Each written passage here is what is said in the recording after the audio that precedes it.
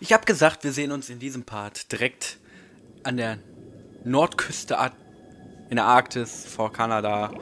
Und mir ist aufgefallen, dass ich doch tatsächlich hier ein Stück vergessen habe, der Karte aufzudecken. Deswegen sind wir aber nicht hier. Wir haben uns ja gewundert im letzten Part, warum ähm, es nicht geklappt hat, bei diesem Totentem das Ding da aufzulösen. Es liegt daran, dass er zwei Hörner haben will. Und die von Walrus haben wir, ja klar, aber wie man sehen kann, hier ist noch ein Narwal. Nein, nein, nein, nein, nein. Sag mal.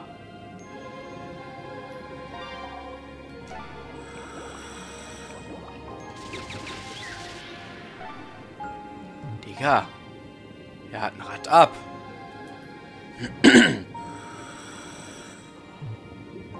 Glaube ich spinne. Der lange, wie ein Horn geformte Stoßzahn eines Narwals wurde in der Vergangenheit zu hohen Preisen gehandelt, da er für das Horn eines Einhorns erhalten wurde.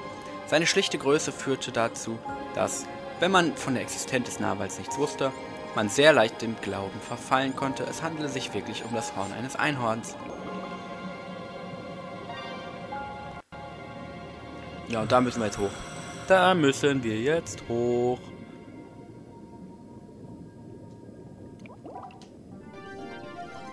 Um einen Narwal-Stoßzahn zu kriegen. Das ist doch schon mal super. Und was bist du? Für ein hässliches Vieh? Ein Seehase. Okay.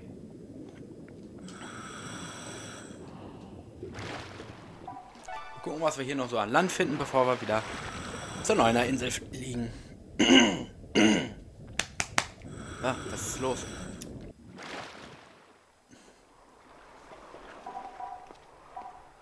Oh, Otter.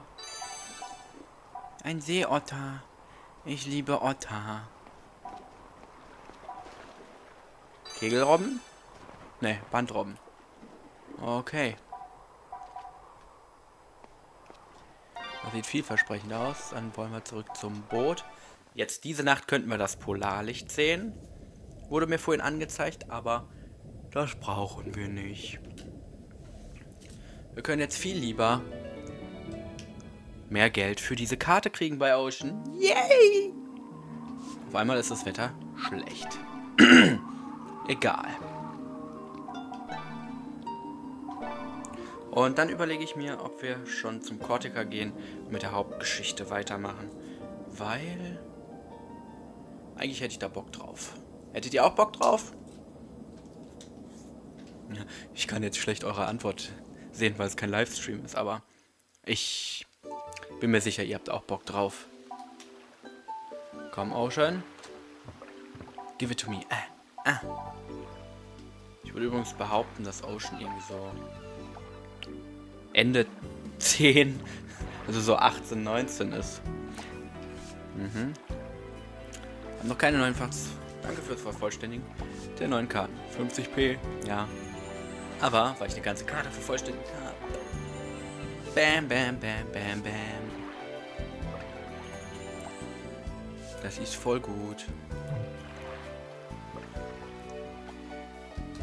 Und jetzt wollen wir mal eben muss man. Und theoretisch hätte ich durchaus Bock.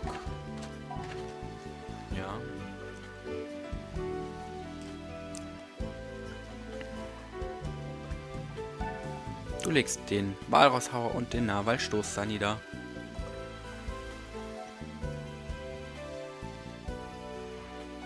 Ich bin zufrieden. Mein Dank. Sandstrand später für dich. Okay. Merkwürdig.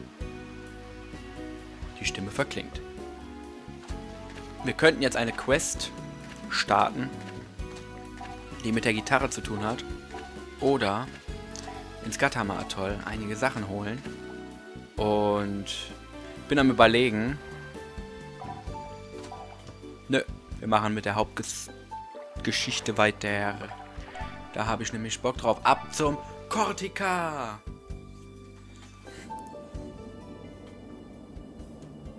Denn das ist ein ziemlich cooles Gebiet. Dieser Nebenfluss des Amazonas ist bekannt für seine vielen Untiefen und eine Vielfalt an Süßwasserbewohnern. Taucher müssen in den engen Kanälen vorsichtig sein, da die Sicht in den trüben Gewässern sehr eingeschränkt ist.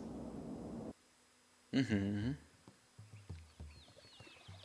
Das Wetter scheint nicht sehr gut zu sein hier. Hier ist der Fluss recht seicht. Wir nähern uns dem Oberlauf. Mensch, das ist ja ein Dschungel. Das ist der einzige Regenwald des Amazonas, Mädel. Einzigartige, meinte ich natürlich.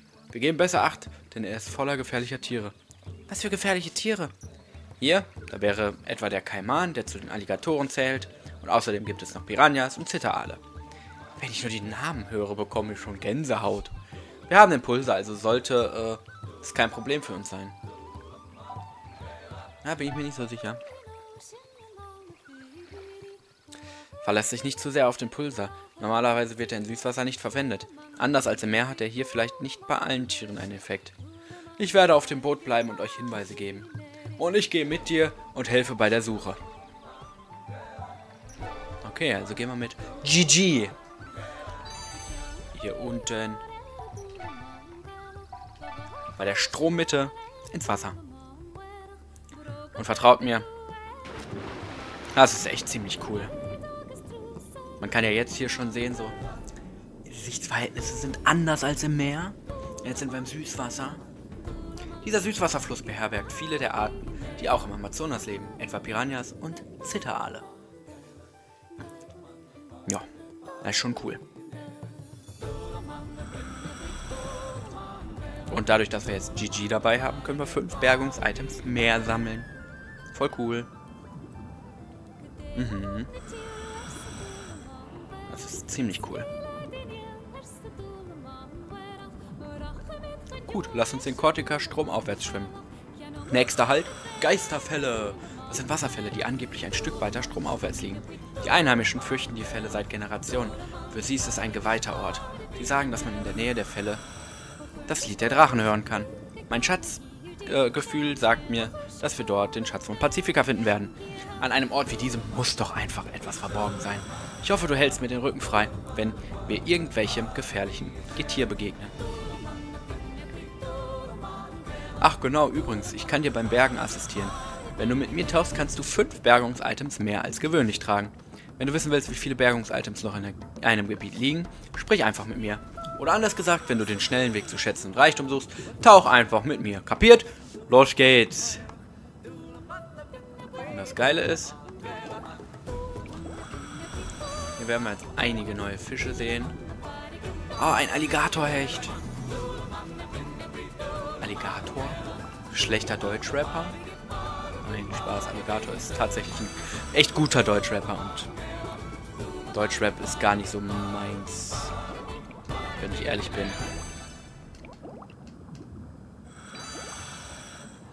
Aber ja gut. Man kann nicht alles haben, ne? Mal gucken, der Sensor hier mal ein bisschen ausschlägt. Ne?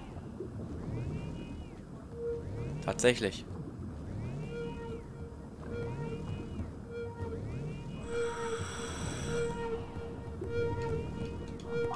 Die Frage ist, können wir das denn auch bergen?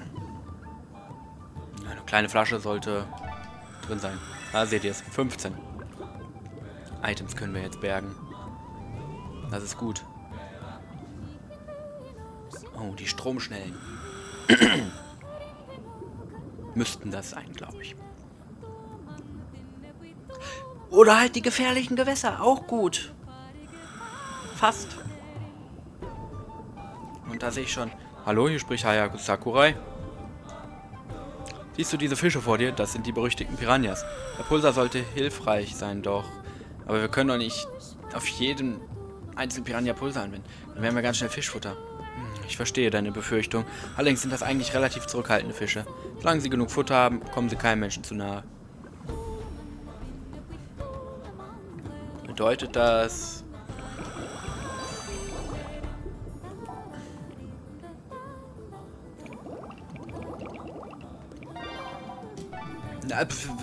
bin ich, bin ich des Wahnsinns.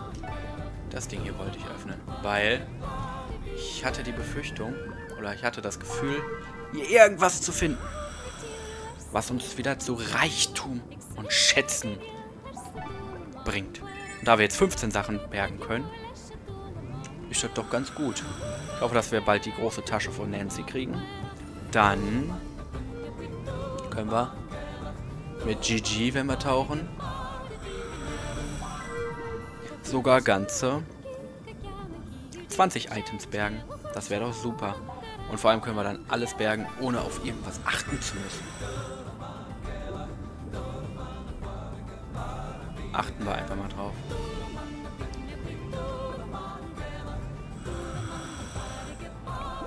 Die hatten wir, ne? Ja. Aber hier ist eine dämliche Fliege, die, die nervt mich total. Hallo, hier spricht Hayake Sakurai. Das ist ein Krokodilkaiman, eine Art Alligator. Er ist eigentlich ein gutmütiges Tier, doch das bedeutet nicht, dass er harmlos ist. Du solltest also vermeiden, seine Aufmerksamkeit auf dich zu ziehen. Ihre Jungen schützen sie um jeden Preis und sie werden extrem aggressiv, wenn sie ihren natürlichen Feind, die riesige Anaconda, angreifen. Fügen wir ihn mal hinzu.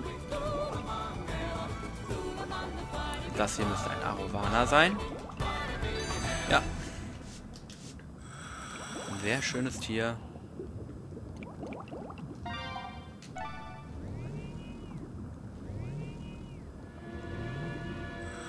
Wir schwimmen einfach nur durch. Ihr könnt mich in Ruhe lassen. Ich tue euch nix. Alter, hier sind hier viele... Au! Drecksack. Ich habe euch nichts getan, Leute. Ich tauche hier doch nur.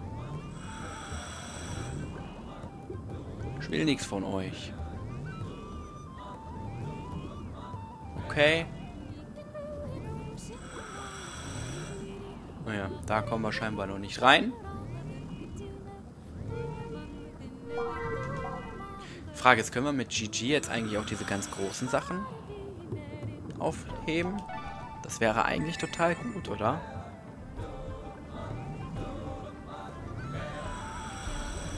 Aber das weiß ich tatsächlich nicht. Ist nur, dass hier Riesenotter sind. Ja, Otter. Ich liebe Otter. Die sind so süß. Ist das ein roter Arowana? Arapaima. Okay. Was haben wir da? Ein schwarzer Paku. Okay. Hier? Das sieht mir aus wie Harlekinfrosch. Ja, wie so ein Kaulquappe. Das war das Wort, was ich gesucht habe.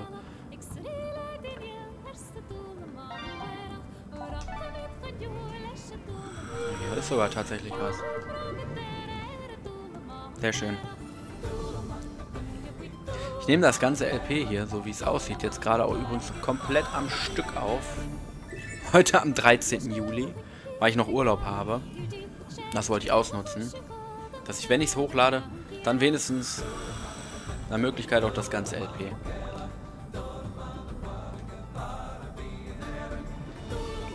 Soll sich ja lohnen.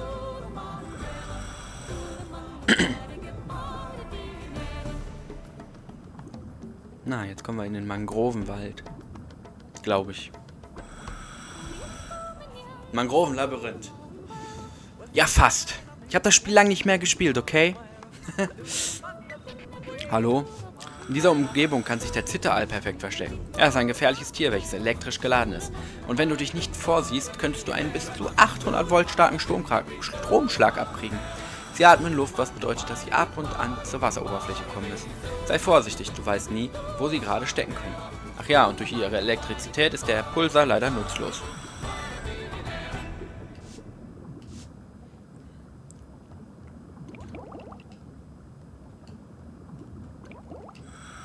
Ich will dich nur... Ja, lass mich in Ruhe. Lass mich in Ruhe.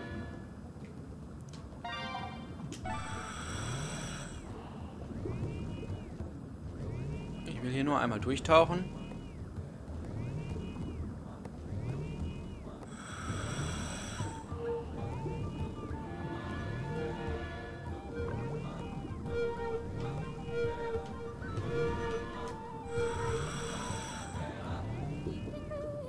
Und dann ist gut.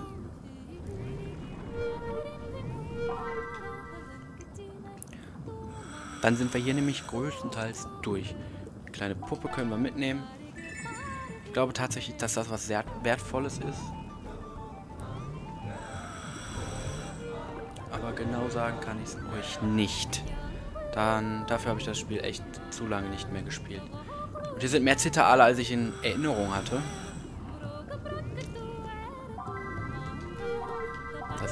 Nicht so gut, aber wir haben es geschafft. Durch alle Gefahren durch. Eine kleine Kugel.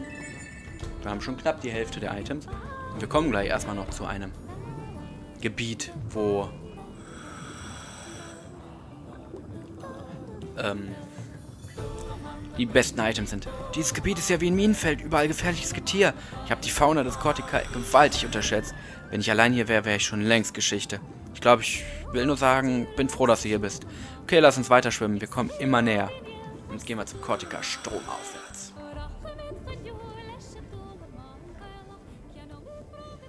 Und das ist sogar für den Fall der Fälle auch mal richtig. Und theoretisch könnten wir diese Karte vervollständigen, aber das würde jetzt zu lange dauern. Brasilien, Südamerika, Kortika, stromaufwärts. Ob es in Kortika wirklich gibt, das weiß ich nicht. Das Wasser ist hier viel klarer als noch vorhin. Und wir sehen auch komplett andere Fische. Ich habe das Gefühl, dass die Geisterfälle hier irgendwo in der Nähe sein müssen.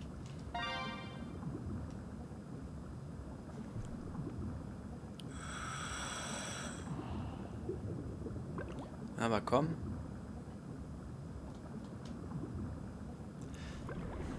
Wir können ja mal...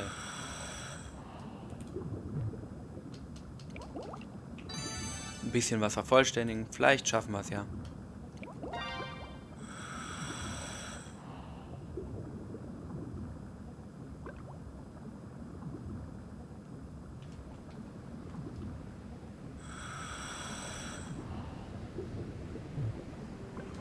Das sind die Geisterfälle. Und da unten ist ein riesiger Wels. Mhm. Dieser Wels, der wird noch besonders.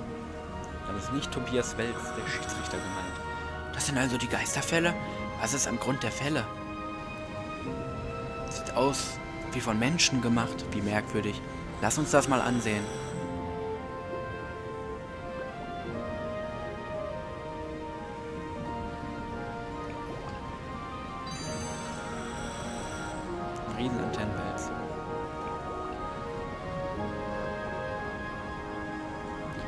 So stark, ich kann es nicht richtig erkennen, aber es sieht aus wie irgendeine Art antikem Schleusentor. Versuch Hayako anzufangen. Ich bin sicher, dass sie etwas darüber weiß. Dieses Schleusentor, Schleusentor ist also hinter einem Wasserfall und auf beiden Seiten stehen Statuen, die sehen aus wie Frösche. Möglicherweise sind das Schreine für die geweihten Frösche, die wie diejenigen, die man im Flussbett des Kortika findet. Wenn ich mich recht erinnere, gab es da dieses Lied der Einheimischen über ein Schleusentor und Frösche. Wie da war das? Ein silberfressender Frosch und ein lapisfressender Frosch? Schützen das Schleusentor des Königs. Preise sie beide, um das Tor zu öffnen. Lapis, Lapis, Silber, Lapis, Silber. Okay, Lapis steht gewiss für den Stein Lapis Lazuli. Also Silber und Lapis Lazuli. Aber die Frösche sehen für mich aus, als wären sie aus Stein. Angeblich fressen sie Silber und Lapis Lazuli. Wahrscheinlich sind sie innen voll von diesem Zeug. Ach, mir egal, ich will einfach nur durch. Ich habe mir das Lied gemerkt. Wenn du es nochmal hören willst, lass es mich wissen, okay?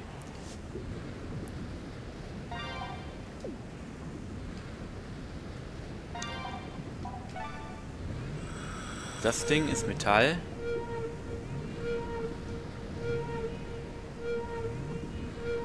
Das ist Stein. Also Lapis, Lapis, Silber, Lapis, Silber. Also.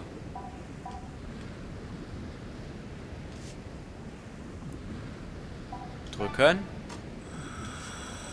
Und. Lapis, Lapis. Dann.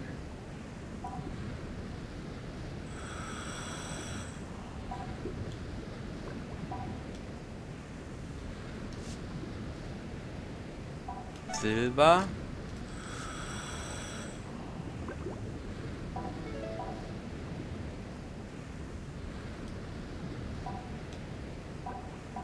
Lapis. Und wenn ich jetzt den anderen drücke, müsste eigentlich das Tor aufgehen.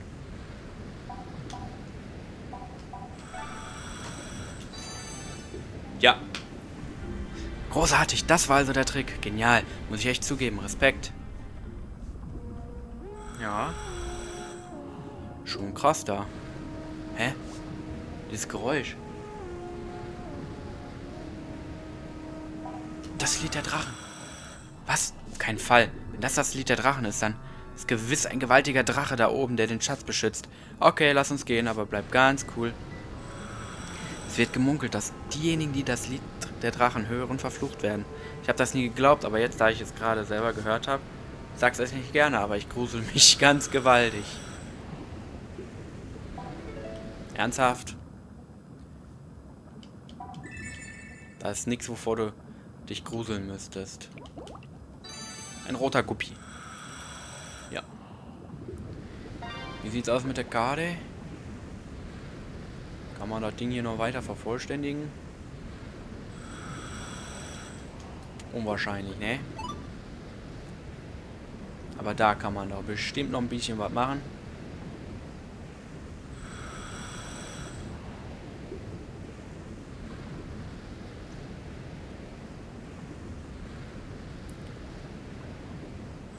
So viel wie möglich aufdecken.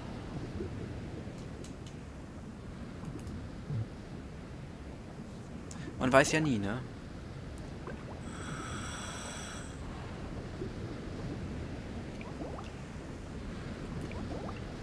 Mann, ich dachte, der triggert jetzt irgendein Event. Hatte das so im Kopf. Aber anscheinend noch nicht. Aber gut. Wir schauen einfach mal weiter.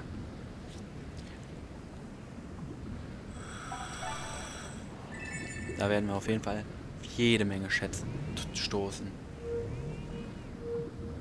Ich bin mir sicher, dass ich nicht alle davon mitnehmen kann.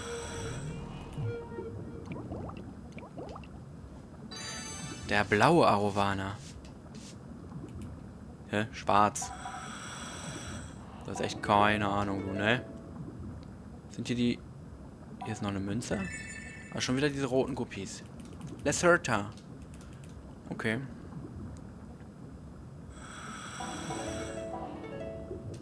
Die müssten aber auch normale Guppies sein, also blaue. Ja. Ach, die habe ich direkt mit. Okay. Okay.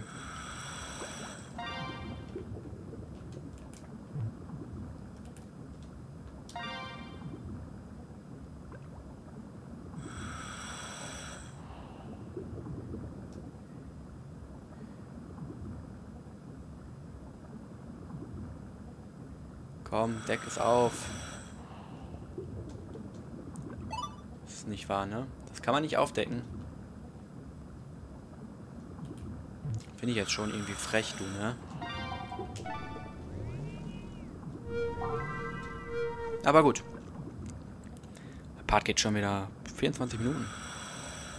Ja, passt nicht in die Tasche. Okay. Das habe ich mir fast gedacht, du. Aber wo geht denn die da Gang hin?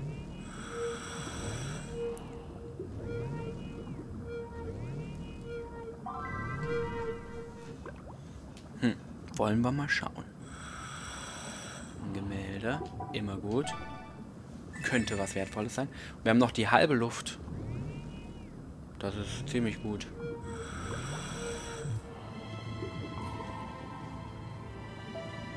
Oh, ein Amazonas-Delfin. Flussdelfin. Tempel des Zwielichts. Cortica. Das ist... Sieht aus, als hättest du was gefunden. Wow, sieh dir das an. Ein alter Tempel versunken in einem unterirdischen See. GG berichtet Hayako von dem Fund.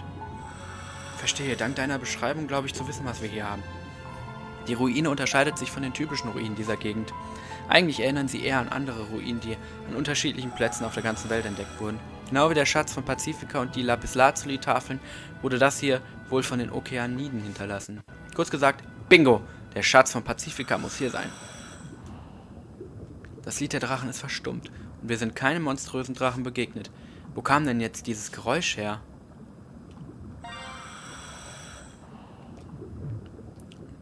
Schauen wir doch einfach mal bisschen, welche Tiere wir hier so haben.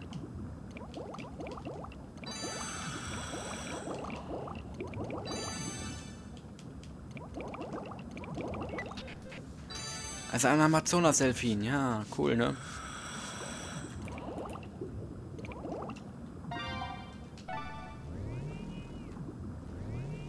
Ich weiß, dass sich hier der teuerste Schatz des Spiels befindet. 15.000 Punkte ist der Wert. Den müssen wir aber erst freischalten. Das ist der Inka-Schatz müsste das sein. Den kann man auch halt logischerweise nur einmal finden. Der befindet sich hier eigentlich hier drauf. Eigentlich. Halt, ne?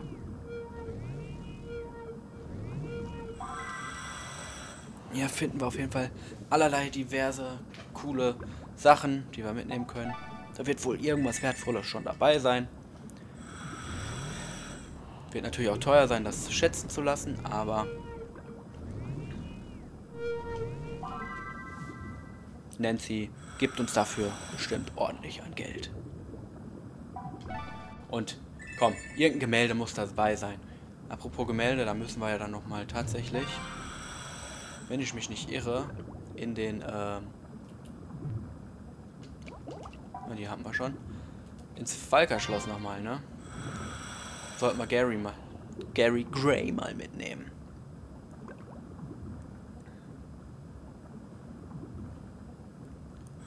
Könnte sein, dass wir die ganze Karte aufdecken. Könnte sein.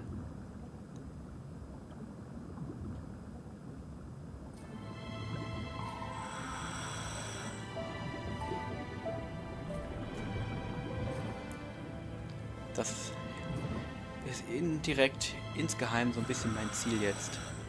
So, nochmal schöne 10.000 Punkte.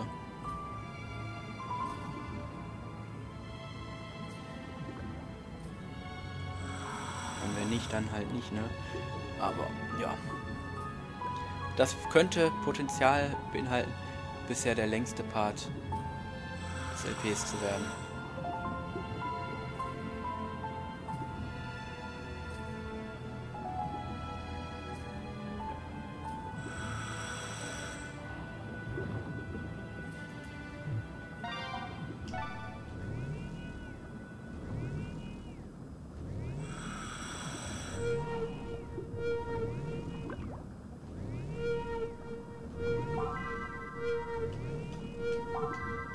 Aber wollen wir mal schauen. Ja, das wissen wir, passt nicht da rein, ne?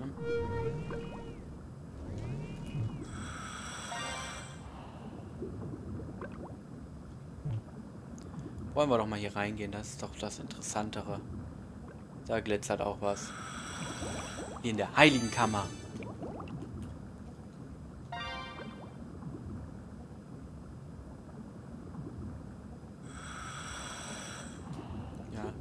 Ding können wir auf jeden Fall auch noch aufdecken. Frage ist, ist hier in der heiligen Kamera noch irgendein Schatz?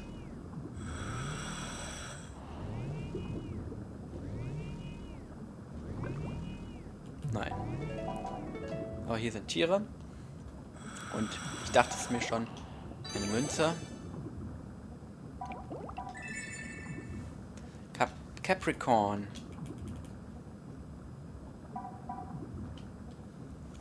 Und eine Cortica-Gravur.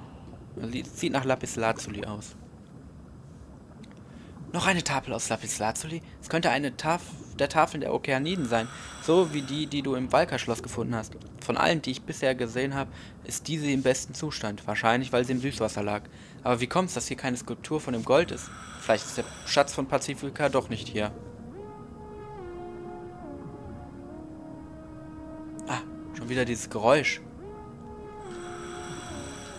Vielleicht sollten wir zurückschwimmen. Was sollen wir nur machen? Ja, komm. Ernsthaft? Ich glaube, ich warte lieber hier. Okay, okay, gut. Du schwimmst vor. Es kam aus der Nähe der Geisterfälle. Lass uns zurückkehren. Du bist echt ein Schisser, ne? Gell? Kleiner Schisser. Aber eins steht fest, wir haben hier vorne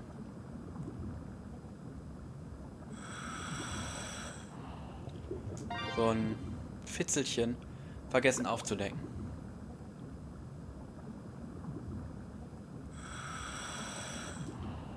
Ja.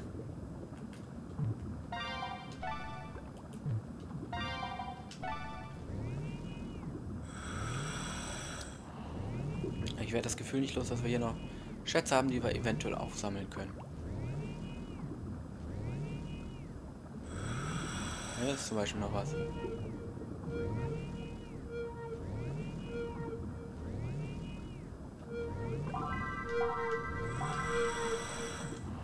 Ist, ist es auch ein Gemälde oder sowas? Also. Das passt dir leider nicht schon mit. Na gut. Dann gehen wir halt mit zwölf Dingern zurück zur Neuner Insel. Oh, ganz langsam. Oh. Oh. Ich glaub's nicht. Hier gibt's Krokodile. So kommen wir nie vorbei. Er ist viel zu aggressiv. Sekunde, du kannst doch den Pulsar verwenden, oder? Warum kümmerst du dich nicht um diesen kleinen Kai? Mann.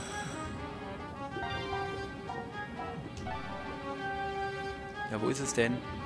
Put, put, put, put, put, put, put. Komm, komm, komm, komm, komm, komm, komm.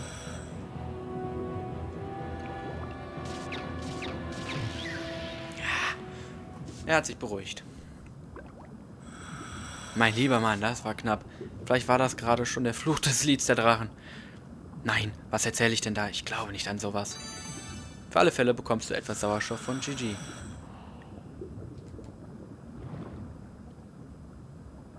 Ja, hätte ich nicht gebraucht, aber danke.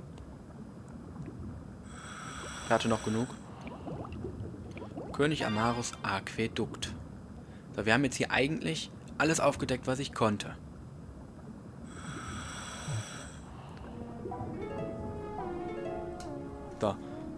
Was sehen wir denn da? Guck! Das kann doch nichts... Sag mir nicht, dass ich hier einen Wal sehe. Hayako, hörst du mich? Ich höre dich laut und deutlich. Ein Wal hat es geschafft, so weit stromauswärts zu gelangen. Nein, er ist doch nicht einfach so hergeschwommen. Das ist nicht so unglaublich, wie es sich anhört. Zwergwale leben normalerweise im Atlantischen Ozean. Doch im Jahr 2007 wurde ein Exemplar in einem Nebenarm des Amazonas entdeckt. Das ist wie weit entfernt? Mehr als 1600 Kilometer? In der Tat, ungewöhnlich. Doch in letzter Zeit häufen sich solche Berichte. Es ist noch nicht bekannt, ob das Problem eventuell mit der Echolotung zusammenhängt oder mit irgendwas anderem. Doch viele denken, dass es auf Probleme in der Umwelt zurückzuführen ist. Sag bloß, ich kann es immer noch nicht glauben. Ich dachte, es wäre ein Drache. War mir ganz sicher. Das war's jetzt.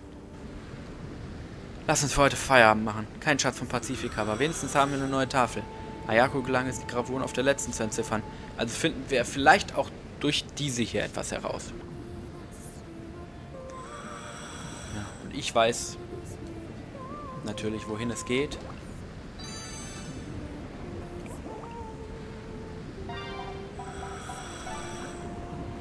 Wir nähern uns jetzt schon dem finalen vorletzten, so dem letzten Drittel des Spiels. Es wird spannend. Ja, da haben wir schon einiges aufgedeckt, ist schon okay. Und da haben wir die ganze Karte aufgedeckt. So viel was wollten. Perfekt. Gibt nochmal Geld. Geld, Geld, Geld, Geld, Geld. Wie war's? Was für eine verrückte Geschichte. Selbstverständlich habe ich eine Hauptrolle dabei gespielt, ganz klar. Wir erzählen natürlich alles. Das ist also passiert. Ich habe ja gar nicht gewusst, dass Gigi so ein Angsthase ist. Warum musst du auch alles erzählen? Komm schon, du denkst doch nicht, dass das Lied der Drachen mir Angst machen könnte, oder? Also habt ihr auch hier das Lied der Drachen gehört? Faszinierend. Aber diesmal ist nichts passiert. Wie war das mit dem Fluch des Lieds der Drachen? Wir wurden von einem durchgedrehten Krokodil angegriffen. Na gut, immerhin haben wir das hier gefunden. Die Cortica-Gravur, eine der Okeanidentafeln. Hey, du kannst sie doch lesen, oder? Was steht denn drauf? Was für ein unglaublicher Fund. Diese Tafel ist bisher die am besten erhaltene. Selbst die detailreichsten Stellen sind deutlich lesbar, also sollte ich sie in kürzester Zeit entziffert haben. Ich frage mich, welche Informationen auf dieser Tafel verborgen sind. Nun, hier ist der Aufstieg und Verfall des Reichs der Okeaniden verzeichnet. Demzufolge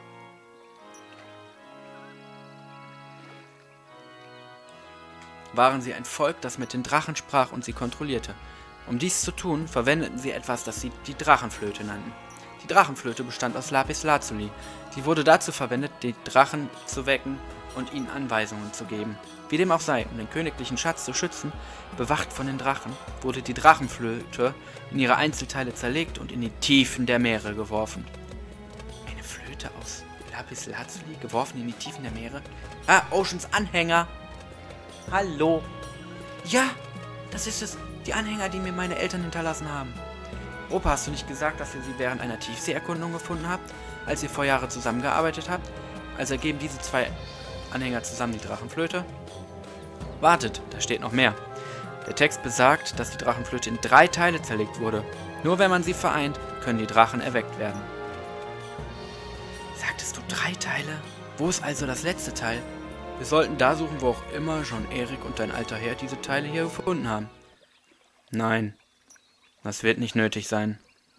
Das dritte Teil befindet sich im Mini-U-Boot HD-9, demselben, in dem sich mein Sohn Mathieu befand, als er den Unfall hatte. Woher weißt du das? Darüber reden wir später. Wir sind alle müde. Ich werde euch die ganze Geschichte erzählen, wenn wir zurück auf der Neuner Insel sind.